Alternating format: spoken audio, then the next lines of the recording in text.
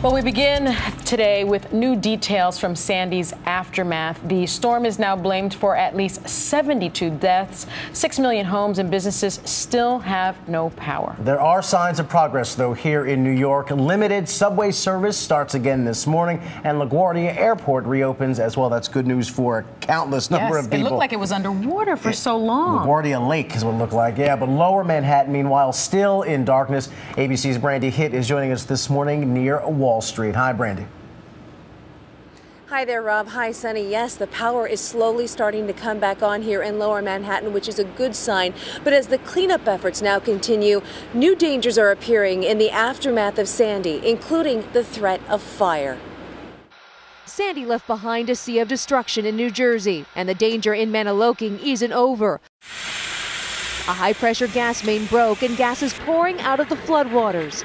After losing everything, families now fear the natural gas leaking from the piles of rubble that has already sparked several fires. President Obama accompanied New Jersey Governor Chris Christie for an up close look at the damage, and entire neighborhoods washed away. You're going to be okay. Everybody's safe. What I can promise you is that the federal government will be working as closely as possible with the state and local officials, uh, and we will not quit until this is done. The iconic boardwalk is in ruins, and thousands of people are still trapped in Hoboken. It's scary. You don't know how long you're going to be stuck here. In New York, there's also severe damage. It's remarkable no one died here at Breezy Point, where residents returned to salvage anything they could. It's devastating. It's it's it's something like you never saw before. It's hard to believe. Lights are slowly coming back on in lower Manhattan, and work continues to restore other areas. The National Guard was called in to help evacuate hundreds of patients at New York's Bellevue Hospital, one of the largest trauma centers in the nation.